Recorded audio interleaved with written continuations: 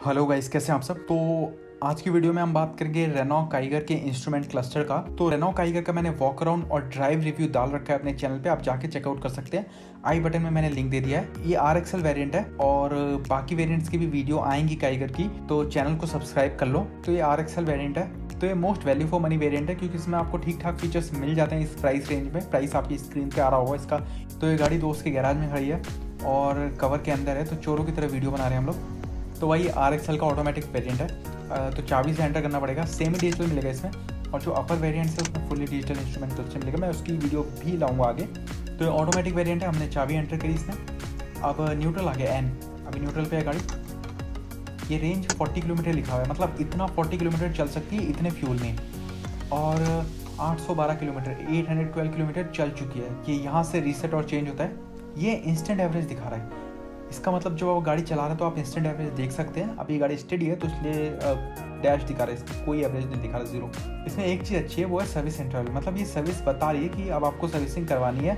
आठ सौ बारह किलोमीटर चल चुकी है, हज़ार किलोमीटर पहली सर्विसिंग होगी। तो उस हिसाब से कह रही है कि सर्विस होने वाली है आपकी, या सर्विसिंग आपको करवानी है। तो जब इसकी फ़र्स्ट सर्विसिंग हो जाएगी तो उसके बाद भी मैं एक वीडियो बनाऊँगा कि टोटल सर्विसिंग में कुछ कॉस्ट आया, नहीं आया पिकअप ड्रॉप था कि नहीं था, उनका एक्सपीरियंस कैसा था सर्विसिंग में क्या क्या चीज़ें चेंज हुई है क्या क्या चीज़ें क्लीनिंग हुई है तो चैनल को सब्सक्राइब कर दो, क्योंकि वो वीडियो भी आएगी। ये ट्रिप ए का मतलब है, जब ये गाड़ी सबसे पहली बार रीसेट हुई थी, जब सबसे पहले स्टार्ट हुआ था, ये गाड़ी चलनी स्टार्ट हुई थी तो ये टोटल फ्यूल यूज़ बता रहा है सेवेंटी टू लीटर मतलब बहत्तर लीटर ये तेल पी चुकी है, जब से गाड़ी स्टार्ट हुई है।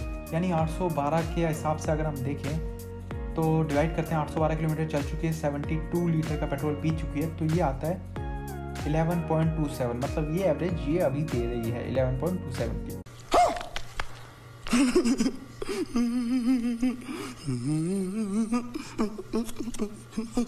अगर हम इसके एम पे देखें तो भी सेम चीज़ दिखा रहे हैं 11.2 किलोमीटर पर लीटर। अब सिटी में 11 का दे रही है तो हाईवे पे 14 पंद्रह का दे रहेगी आराम से।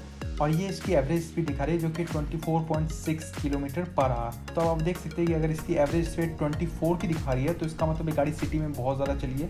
तो मोस्टली सिटी में चली गाड़ी, इसलिए इसकी एवरेज कम दिखा रही है। अब ये ऑटोमेटिक वेरिएंट है। अब गियर को जैसे ही पीछे करूँगा, ये ड्राइव में आ जाएगी। वापस करूँगा तो ये न्यूट्रल में आ जाएगी। और सिर्फ़ न्यूट्रल में स्टार्ट होगी ब्रेक प्रेस करके। अगर रिवर्स या ड्राइव में होगी तो स्टार्ट नहीं होगी। तो अगर रिवर्स डालेंगे तो आर लिख कर आ जाएगा। और बी बजने लग जाएगा। वैसे पीछे दीवार भी है तो पार्किंग सेंसर भी बज रहा है। अब जैसे आपके दोस्त लोग बोलते हैं कि यार ऑटोमेटिक क्यों ले ली मैनुअल होती तो मज़ा आता है यार। ऑटोमेटिक में मज़ा नहीं आता। तो उनके लिए खासकर इसमें आप मैनुअल भी कर सकते हैं। अब इसको आप ड्राइव में डाल के लेफ़्ट में शिफ्ट कर दीजिए। देखो। वन एम लिख कर आ गया मतलब फ़र्स्ट गियर मैनुअल अब इसको नीचे प्रेस करते रहेंगे तो गियर चेंज होगा।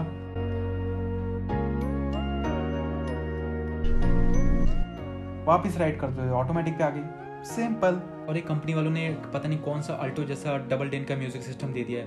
मतलब टू डेन का तो सारी कंपनियाँ देती है सोनेट वेन्यू नेक्सॉन बट यार कम से कम देखने में अच्छा तो लगे।